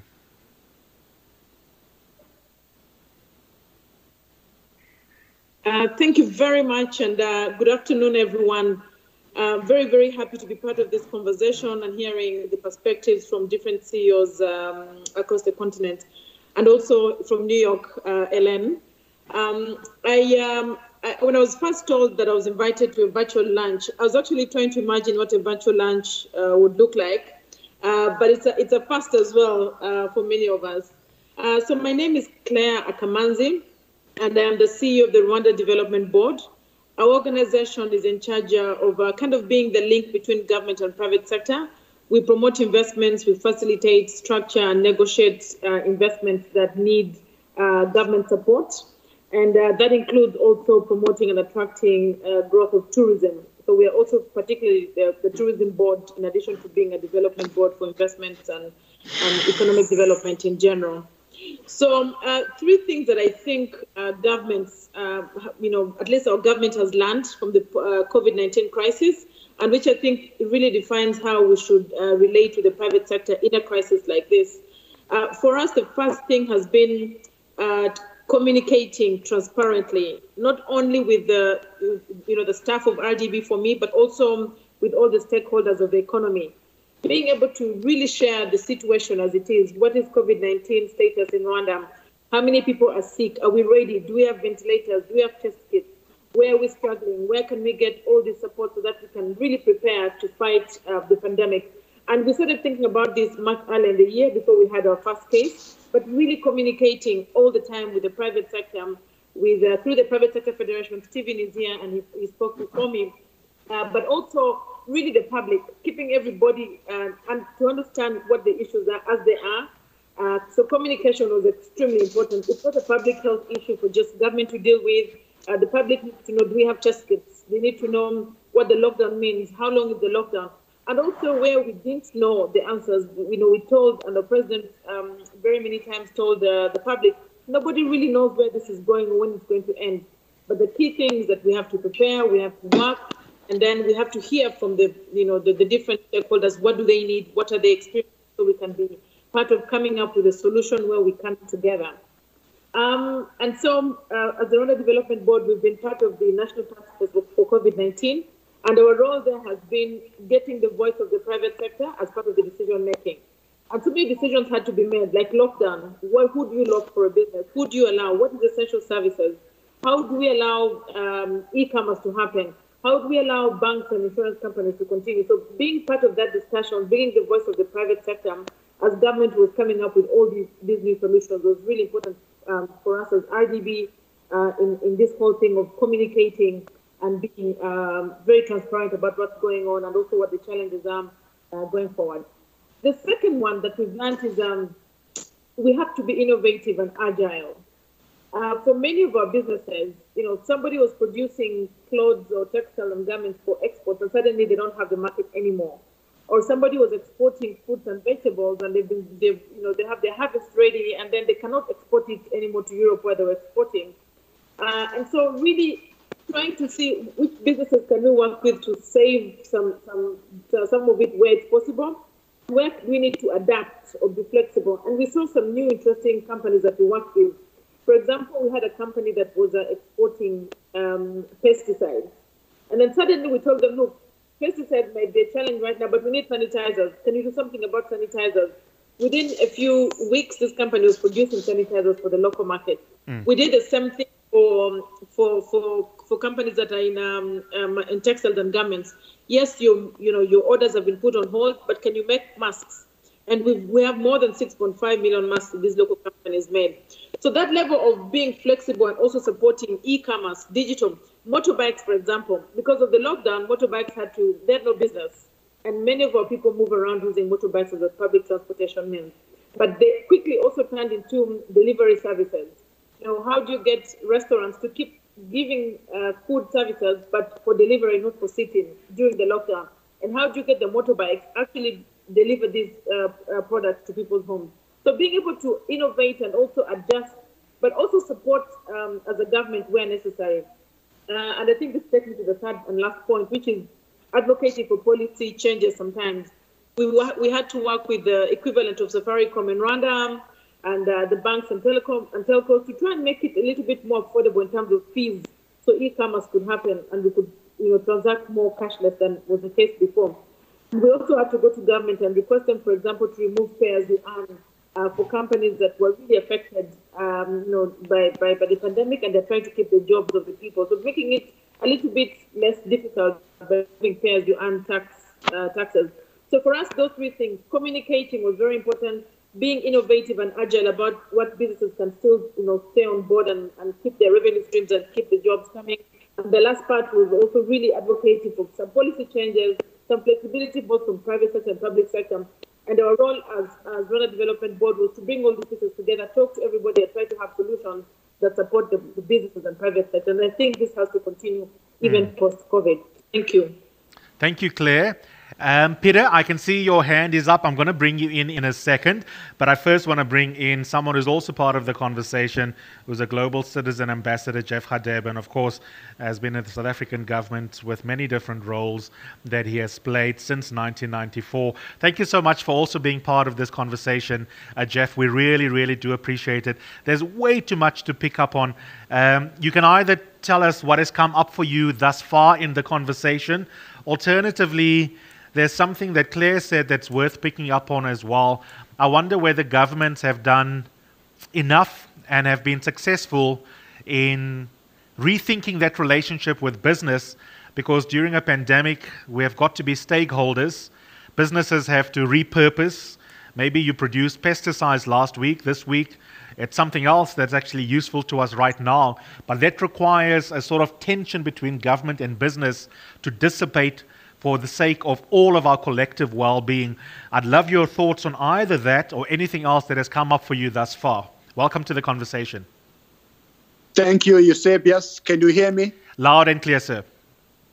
Thank you very much. Uh, first of all, let me take this opportunity of thanking you for being uh, such an eminent uh, moderator of this dynamic session, and also to thank my esteemed and distinguished panelists for participating in this very important initiative to ensure that we all put our shoulders to the wheel to fight this uh, pandemic that is causing so much havoc across the globe. The main issue that I wanted to address myself to is uh, the issue of the role of global citizen. As you are aware, as you have just indicated, that I'm, I'm one of the global citizen ambassadors. Uh, you will recall that last week, uh, on the 28th of May, a global citizen under the patronage of the European Commission uh, launched a very dynamic initiative of global goal, Unite for Our Future. I think this discussion, I think, is very much in line with the goals that both the global citizen and the European Commission are committed to. During that launch, even our own president in South Africa, also in his capacity as the chair of the African Union, as well as various presidents across the globe, including France, Germany, Norway, Austria, Belgium, Morocco, uh, New Zealand, and various foundations across the planet and and uh, philanthropists they committed of ensuring that uh, towards the end of this month there must be a global virtual summit where people leaders philanthropists foundations as well as governments they need to commit and make further commitment and pledges to ensure that 7 billion people across the globe have access to tests, to treatments, and vac- vaccines to ensure that this pandemic can be eradicated. So, this summit will take place on the 27th of June. So, I also want to use this opportunity of this uh, summit today to call on leaders that are represented here, especially from Africa, to ensure that they they themselves and their colleagues in business they also commit to all these commitments and pledges in the fight against uh, the COVID-19. You will recall, uh, distinguished panelists, that uh, sometime about a month ago, global citizens, together with the World Health Organization, organized a very dynamic uh, uh, uh, function that was held across the globe called One World Together at Home event, which was viewed by more than 270 million people. And it also raised funds to the tune of $127 million. So that's an indication and reflection of how uh, global citizens working with all stakeholders, business, labor, and organs of civil society, we can be able to fight this fight of ensuring that we can be able to succeed in fighting this invisible enemy. So we also want to use this forum as well to appeal to colleagues uh, here to support this initiative and ensuring that we're able to fight this uh, pandemic wherever it, it rears its ugly head. But uh, uh taking advantage as well as a South African mm. who we have been fighting racism for many decades, uh, I think it would be remiss of me if I just don't make just one comment on what is happening in the United States and other parts of the world uh, arising uh, from uh, the the killing of a black man in Minneapolis uh, by a, by a, a, police officer. That we as global citizens we stand for justice, we stand for equality of opportunities so we, we feel that uh, the United States government, any governments across the, the globe, they must stand up to fight this injustice. And as global citizens, we stand with you in this fight against the pandemic. So those will be my uh, opening remarks, uh, Eusebius and, mm. and distinguished panelists in this uh, summit. Thank you, Jeff. And um, I don't know if you were listening to the beginning of the day, but Prof. Kramer did exactly the same. He said it was very important that we anchored this conversation today by making sure that concepts like shared value and leadership intersect with what happens socially in the world. And you can't have this conversation today and not um, reflect on what is happening, the fire this time uh, in America, to borrow from a James Baldwin title and give it a contemporary feel. Peter, I think you had your hand up. Um, let's go straight to you. Yeah, thank you. Thank you for having me again, um, uh, Peter uh, from, from Safaricom. Yeah, I just wanted to just make a few points, uh, probably to build on some of what has been said. And, and, and kind of, I think uh, it is you, um, said, yes, who said, uh, what is the reason to believe that this is, this is different? Uh, and, and I think uh, it was Faith who said that actually we are all, we are, we are all affected. Um, I think there's, there's an opportunity to, to use this as a, a momentum uh, to build on the reason why purpose is important. Mm. Uh, and, and I think just like we've, uh, we've been driving uh, diversity as a big topic around the world, uh, and we know more diverse organizations are actually more successful, we need to, uh, and, and, and, and for us in Safaricom, we've seen that, that purpose driven organizations are actually much more ambitious, much more successful. Uh, investors, I was speaking to investors recently, and I only joined on the 1st of uh, April in the middle of the crisis. Uh, I was speaking to investors, and, and investors are thinking about how, what are you doing to go beyond uh, delivering profit? And because they are thinking This is not about short term. These investors are investing uh, in emerging markets in the long term. And so the why or purpose uh, and the reason why it is uh, it helps our business is an important. I, I, don't know whether it's in education, but actually I think we can use this uh, this crisis to, to really get people to understand why purpose actually makes sense. Uh, and, and, and if you have purpose, you're, you're more likely to, to do a lot more and be more sustainable. And then it is what does, it makes you do. Uh, so during this crisis, for example, in Safaricom, uh, we have a product, uh, we, we have a loyalty uh, scheme called Bonga for Good. Sorry, Bonga Points, which is loyalty points you get for buying airtime, etc. So during time, we said instead of giving airtime, and you are still you, you can still uh, redeem your Bonga points uh, for uh, for airtime, but we said Bonga for good. So so you can donate them to someone else to buy food or to buy essential services or to, to pay something that is important. So it makes you innovate because our purpose in Safaricom is about transforming lives. And, and if you look at the impact that, say, M-Pesa has had about transforming lives, it today is used by every adult in this country.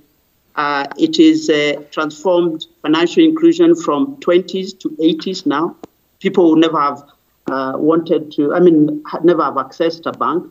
And during this COVID crisis, we've made uh, transfers below uh, 1,000 shillings, which is $10 free, and we've seen 20 million people use it. Mm. So, so I think that, that the piece around connecting your business, what you do, to what you what you create in society can make a material difference. So, so, so we are using M-Pesa, for example, to transfer money to people who are vulnerable. Uh, so, so, so, so, to, so that we support them during this period because transporting food is, is not possible during this time. So, so I think there's about, it's about connecting what you do to serve rather than just being being generous. Uh, it's about making money and, and changing society and creating, reducing inequality. So there's a real sweet spot if you do it for a long time and if it is in the DNA of the organization. But yeah. it requires leadership. Uh, leadership is a, is a key ingredient for en- ensuring that year on year purpose is alive. That's such a beautiful point. Hylton, you've got your hand up. Before you did, you were just by a nanosecond beaten to it by Ifeyinwa. I mangled your name the first time and you were very kind. Um, I want to learn to say it properly. I hope you mangle mine and then we are square, but I don't think you did. Um, how do I say your name properly? Such a beautiful name. What does it mean, by the way? It's and it means there's nothing like a child. Say, what does it mean again? There's nothing like a child. Oh, that's absolutely gorgeous. One of the horrible things about being an adult is that we grow up, some of us. exactly. But, you know, funnily, I think it keys into to what I was going to share, my views on, on the essence of purpose. and it's, it's really connecting to our humanness. You know, so there's nothing like being a human being. We are all human beings. And that is what we need to connect to in order to, to, to have purpose and to live our purpose in life. And to remember that organizations are made up of human beings. And if everyone would take the personal responsibility of connecting to their core and their purpose, then we, we would have a, shared value, not just at government level, a private sector, public sector, all around. Purpose, from our perspective, simply means leaving the world better than how you found it. Mm. And that could be in terms of the environment, in terms of other human beings around you. If we can always look at life from that perspective, we would find that everything we do would be steeped in purpose. Mm. But unfortunately, we find that we're often only looking at things from our perspective, sometimes even act- acting out of fear. Most of the, the, the, the wrongs or the crimes that have been committed against humanity have been from a place of fear and we all are guilty in little ways throughout uh, the year. So, as organizations, how do we make our decisions? What are the motivate the key motivating factors to decisions that we make? How are we impacting the environment? How are we impacting other people? I remember when the lockdown had just started, um, talking about sharing purpose with your team. You know, we were all working from home, And this particular staff meeting we had, I could sense the fear, I could sense the uncertainty. There were so many questions, there was just so much fear. What is going on? How, when is this going to end? Are we safe? I'm not even safe going outside.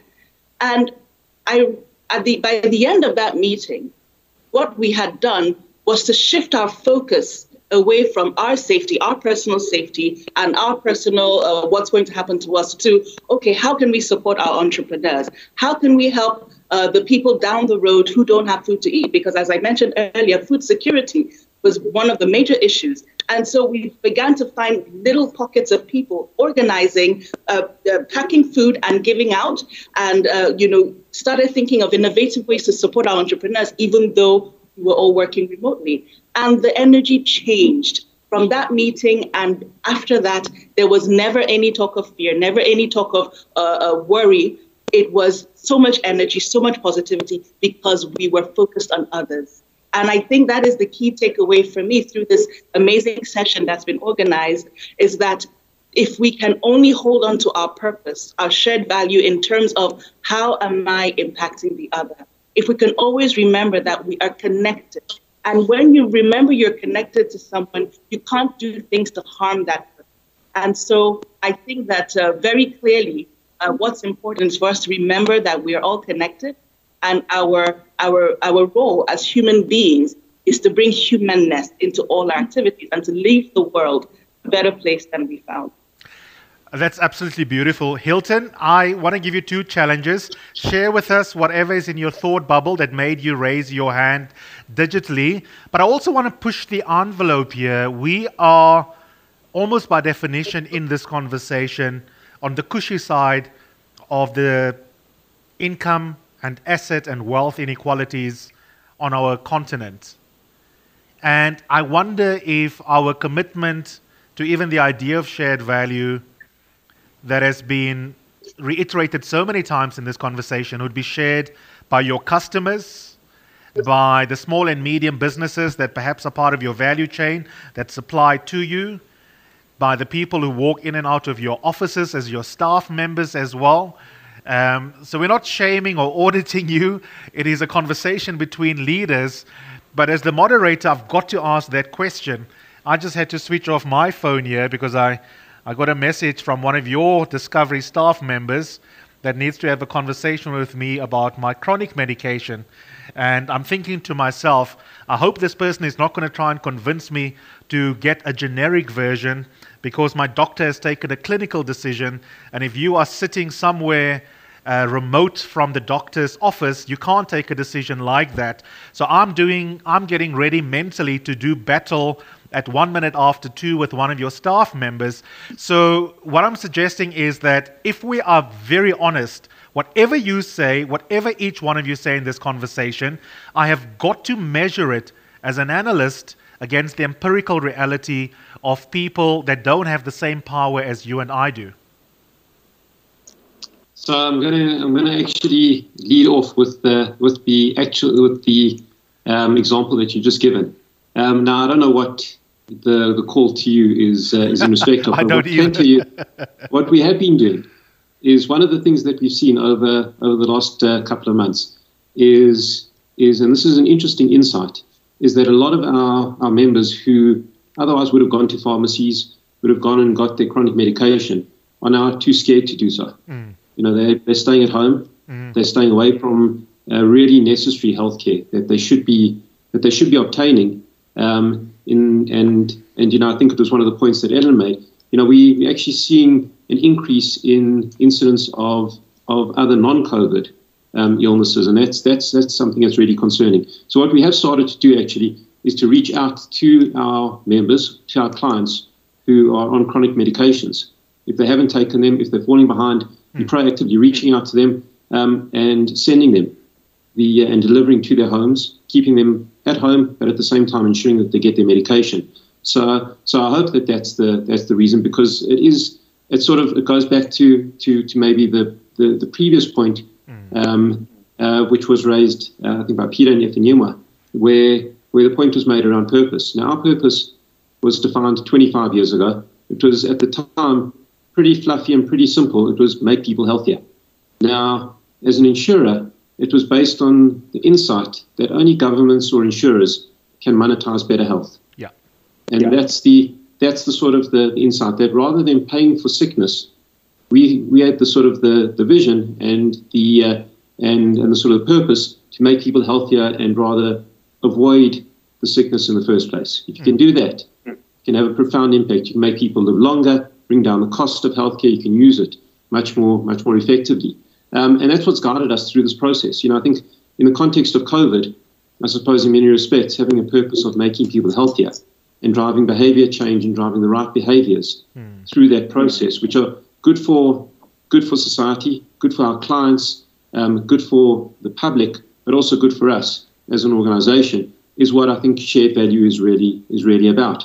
And and and I think the the the reason why um, hopefully businesses will change uh, will come out of this pandemic in a much stronger position in societies as a result is that there needs to be an alignment between business and between society and between our clients.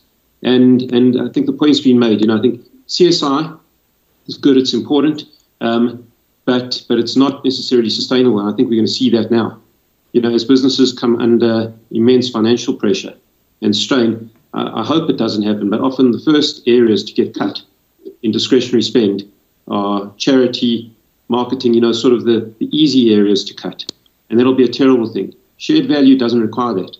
You know, in fact, it's entirely scalable and encourages businesses to invest more and in so doing, you know, sort of completely align with clients. So, so in our case, our purpose did drive every single action. It drove what we did with our staff, make them healthier, protect them, um, to, to the point of, you know, I thought I was inspired by the, the example of staff yeah. sort of staying yeah. and sleeping over we, we didn't do quite that, but we, we hired hundreds of cars. You know, we've got, uh, we've got a great partnership with one of the car hire companies. Their cars were lying dormant. We went and, and took over literally hundreds of them for our staff so that the, the frontline workers didn't have to take public transport and had their own vehicles through this uh, through this period. Mm. So so there are ways that you can do that in a, a way you know that, that that really does that, that protects staff. So that was first and foremost what we did.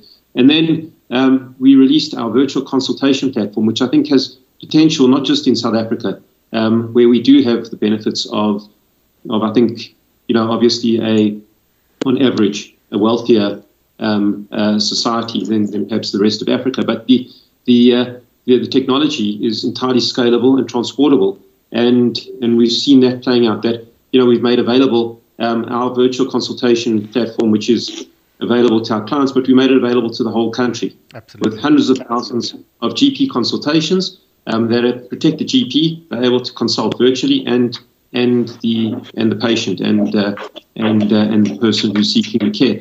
And that, that kind of technology doesn't have to be um, doesn't have to stop at our borders. Absolutely. You know that can be available across the whole continent, mm. and that's the that's the sort of the I think the opportunities that through this period um, we have to we have to capitalize on that borders um, can be broken down um, through sort of purpose, goodwill, um, and good faith between between companies, government, and society.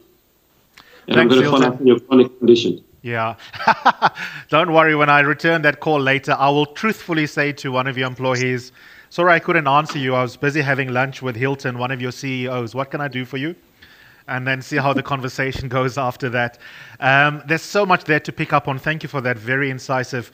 Um, I think you had your hand up, Ellen. Did you want to come in?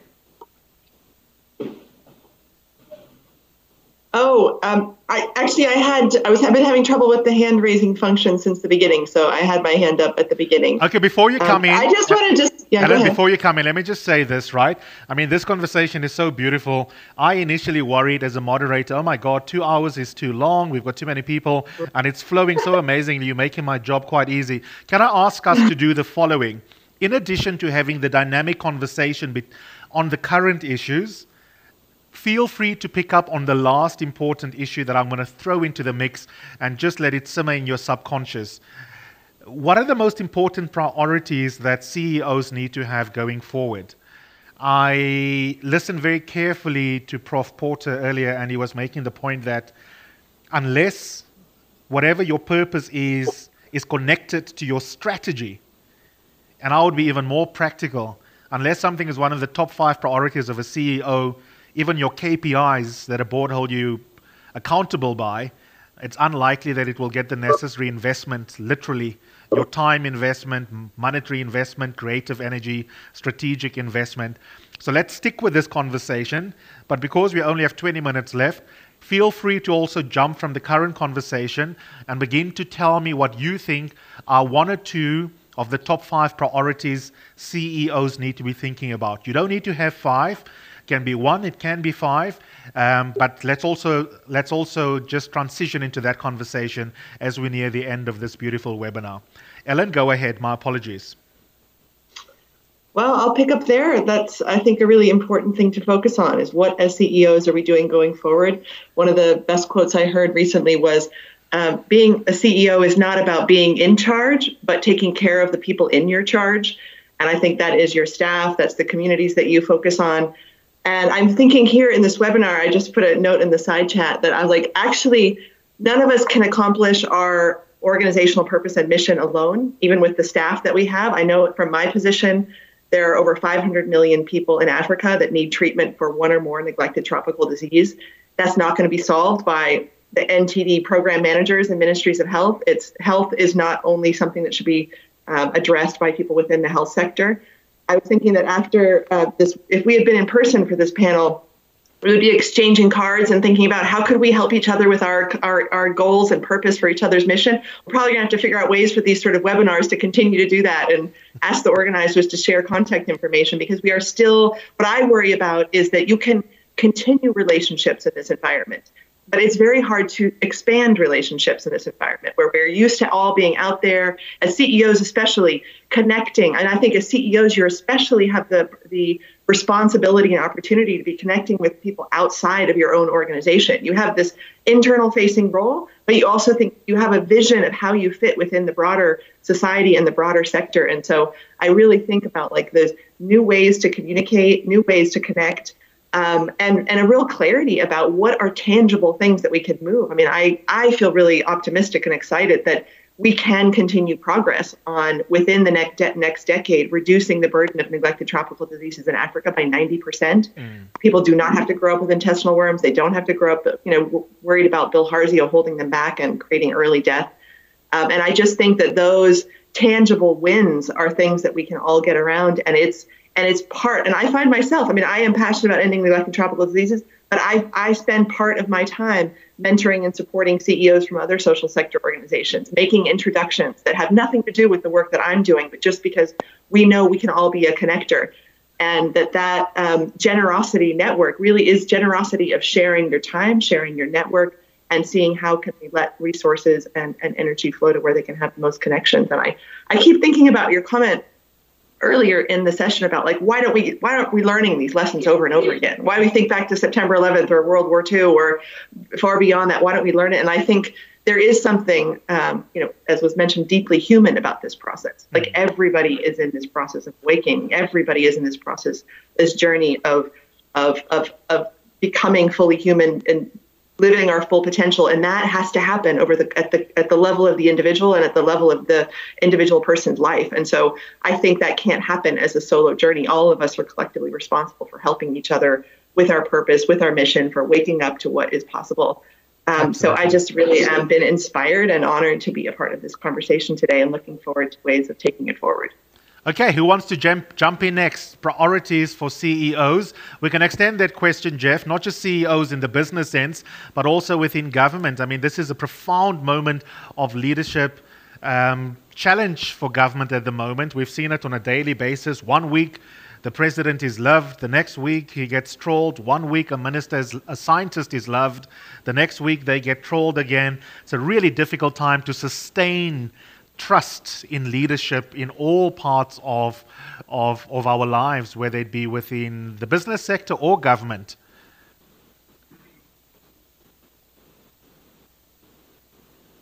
Okay, we'll try and get the audio right there before we come back to Jeff. I can't hear you at all. In the meantime, I want to hear from you, Faith, and then Iain, I'm going to come to you. Uh, thank you very much, uh, Eusebius, again.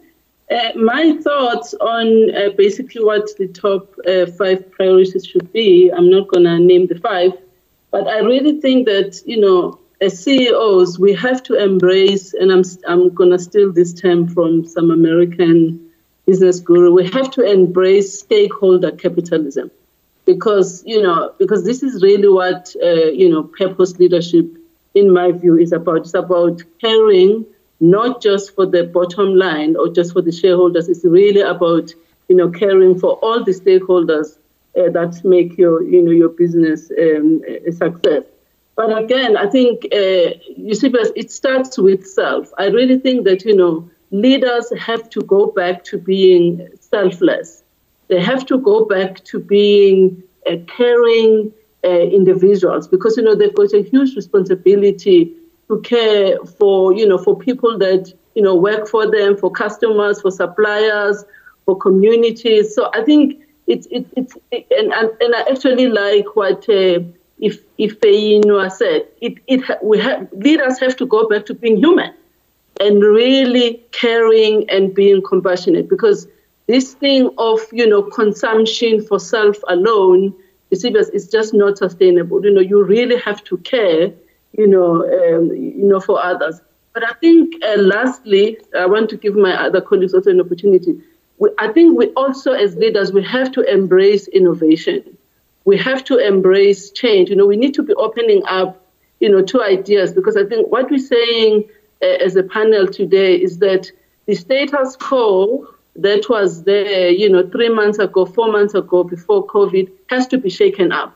But for us to shake up the status quo, we really have to shake up our, our minds. You know, we need to, you know, to rethink, to reset, and we must embrace change, and we must listen to, to everyone, um, you know, not just our, our staff, but also our customers, our suppliers, you know, so that we can get ideas uh, that we can then input into our business strategies so that, you know, at the end of this um, challenging period, we can really have solutions that are, embra- are all embracing and are all uh, inclusive. Uh, so that's really those are my thoughts, uh, Eusebius. Okay, thank you. thank you. for that, Faith.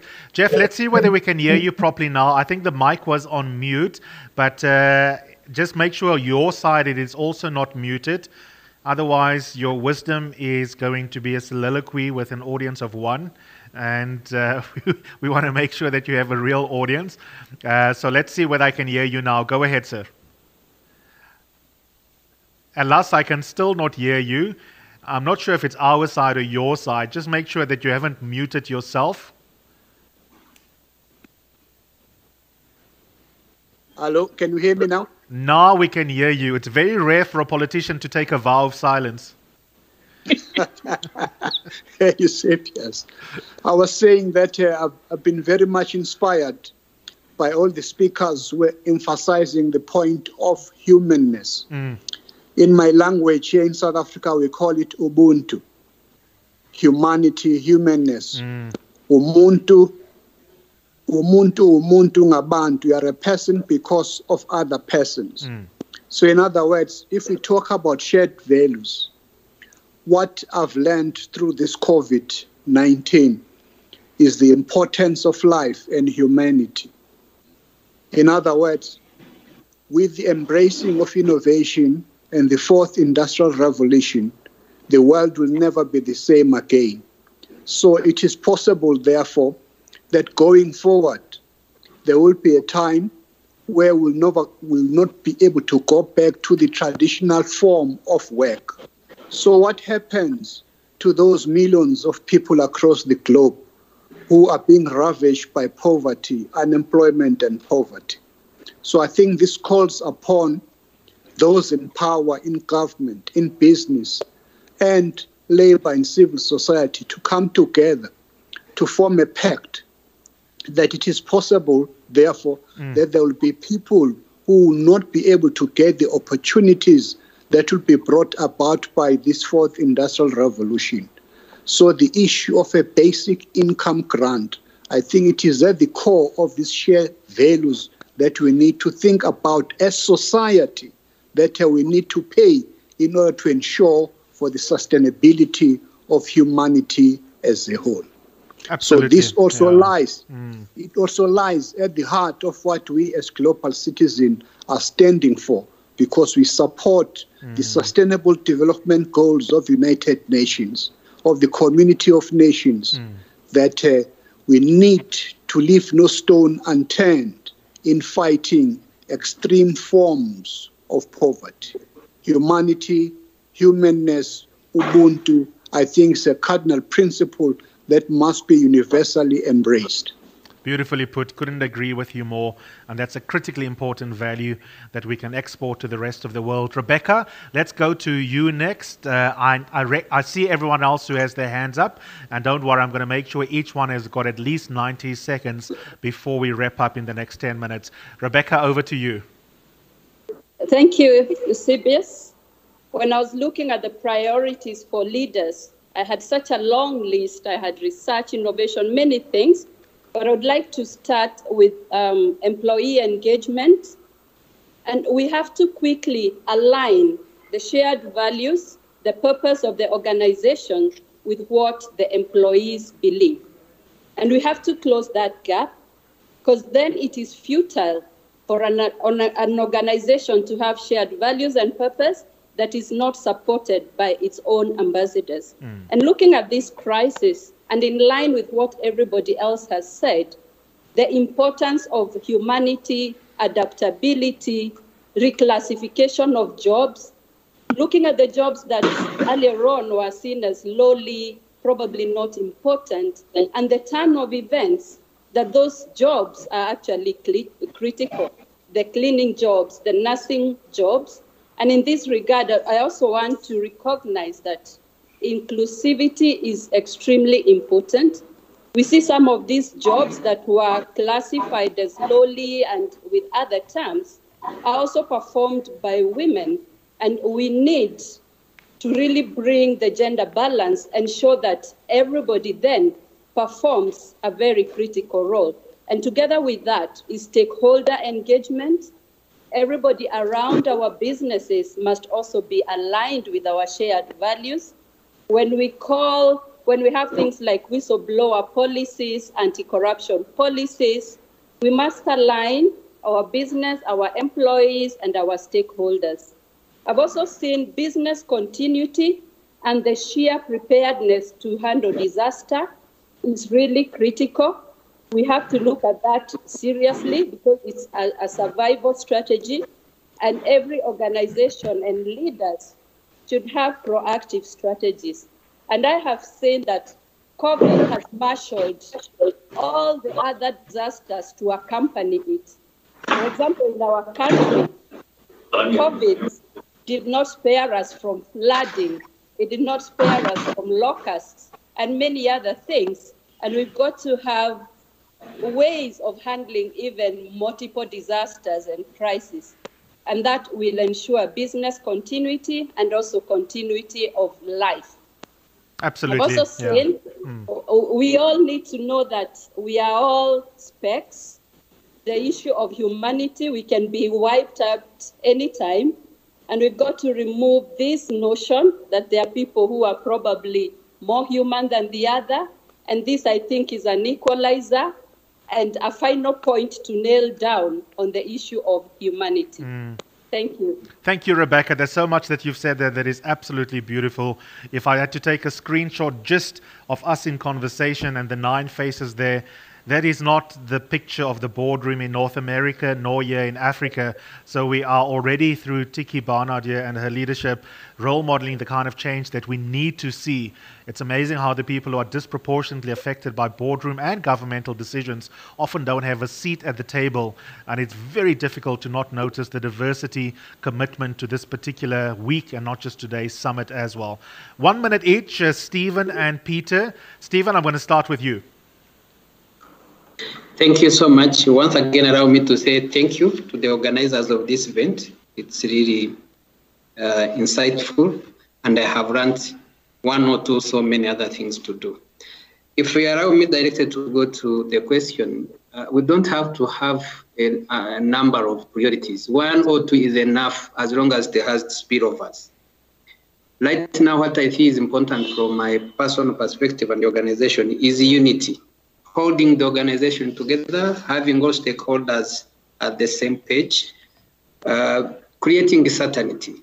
As long as we are one, we shall have overcome the, this, this challenge. There is no winner or loser in this scenario. It, there is no either we win or we lose scenario, but rather we should come out of this uh, crisis as winners, not as victims, not as the, the, the people who didn't participate greatly. The other, uh, probably other priority is to change the working strategy. It is no longer the business as usual. A number of things are changing. Uh, markets are going to have disruptions. People are going to do much inward looking. Workers are scared of their next uh, job security. Companies are not sure of the market. So, what are the strategies that we're going to have to one to come out of this uh, COVID crisis, and two sustainability and creating more values. Uh, lastly, we have to encourage creativity and innovation. Uh, my colleague mentioned about innovation, but this is the time to entertain, give space, creativity, and innovation. The reason being that we have to get measures post COVID and what will happen uh, in future. The COVID has taught me one lesson that the world is rather connected than disconnected. It is easy to think you will not be the victim, uh, the crisis would not reach you, but this has shown us there is no superpower in uh, the virus pandemic. Everyone will be affected. Thank you so much. Absolutely. Peter, 60 seconds starts now. Um, I, I, think I echo everyone, uh, what everyone has said in terms of this is a great, uh, great forum uh, to share ideas. So, so, for me, there, there are a number of things that uh, this CEO and myself included should should think about. One is reimagine the future, but reimagine the futures are connected rather than uh, rather than um, apart. You know, like there is there's a there's a very important uh, kind of saying we we are, we are we are running as Safaricom, although we are apart. Uh, we, we, we, we, although we are a, you are a, we are apart, you are not alone. Mm. Uh, so we need to make sure that people don't feel that they have been left behind. So, so supporting the community during this period is going to be important. The second is is actually thinking about collaborating in the recovery phase. And one of the big areas that we are thinking about, especially given the role it plays, is SMEs, supporting SMEs uh, to actually come back because that's where how employment will come back. And it is only this is one, one of the reasons why I think shared shared uh, value is big. So SMEs will be will be an important. And then also thinking about the future of an organization. So the future of work uh, being a space, not uh, not a place. Uh, thinking about health and mental and well-being of people. Think about resilience, both both for the, for the business, but also supply chain. But also one of the big areas that, uh, especially as a technology company, we are thinking about is education and access to Absolutely. education. How do we leverage technology hmm. uh, going forward? We're going to draw this lunch to an end. I just want you to stay put uh, for three, four minutes as we do exactly that. Firstly, I want to thank every single one of you for participating in the CEO lunch today. The insights are way too many. I think they are irreducibly complex and innumerous, which is a gift to all of the attendees who are listening, wherever they may be from in the rest of the world. It is critically important that we take stakeholder theory and engagement seriously. I loved what Jeff had said about Ubuntu as a fundamental foundation upon which we can build the other more precise leadership challenges. And then in each of your businesses, I am delighted that, for example, you do not see your employees as subjects, but as co creators of a future in which the shareholders are having to recognize that their fate from a business point of view is tied together with the fate of every single employee that creates value that then needs to be shared. That's really important. And as if that's not enough, one of my many um, points that I love, because I think it's so unique to us as human beings, as a species, is that we have creativity. We often forget the extent of our creativity combined with language is what sets us apart from the rest of the animal kingdom, and how we leverage that to try and deal with crisis is critically important. So, thank you, thank you, thank you for this successful first virtual summit, and um, I'm sure that uh, those in the other regions like Australia will be delighted to know that it's gone off well. Australia will have a similar shared value virtual summit on June the 10th, um, but we in Africa often seen as a net importer of technology, as I've said earlier, that is historically false. Sometimes we also start a trend and the rest of the world simply does a better PR job. Last but not least, I want to invite back the interim CEO, Iain Williamson from the Old Mutual Group. Iain, once again, honestly, from the bottom of my heart, thank you so much for the role that uh, you are playing, not just today, but also the focus on transforming the healthcare in Africa, young entrepreneurs um, on day three, as well as unlocking the power of innovation. So it's an entire week of activity that has been planned, but day one has been an enormous success, and I now invite you in closing to say a couple of words. Thank you, CBS. And um, unfortunately, I would miss some context because I had a technology problem earlier in the conversation, so I missed some of it, but I think I, have got most of it. And what I have heard, I must say, was greatly uplifting and very encouraging. Um, you know, especially after the events of this last weekend and the last few weeks with the George Floyd incident in the US, with the incident around Collins Khoza locally in South Africa and I think with with um, some of the smaller things, you know, there was a message from the Nelson Mandela Foundation this morning coming out saying, you know, they've got a, a program aimed at supplying food to to those in need in the community. And the amount of sort of petty bureaucratic interference with their activities is quite disheartening. So I found today really quite uplifting after all of that. Mm. And I, I, do think that ultimately, not for CEOs, but just for leaders everywhere, that really I, I think a critical role right now at this juncture is to make sure we take the path uh, that's been described in this conversation. Uh, you know, because I think COVID is putting pressure on everybody. And that pressure is resulting in, I think, quite a um, binary response. It's either the petty, small minded, I'm going to look after myself kind of piece of the response, or it's the inclusive compact, we're all in this together, and actually we need to emerge from this stronger together at the end of this process.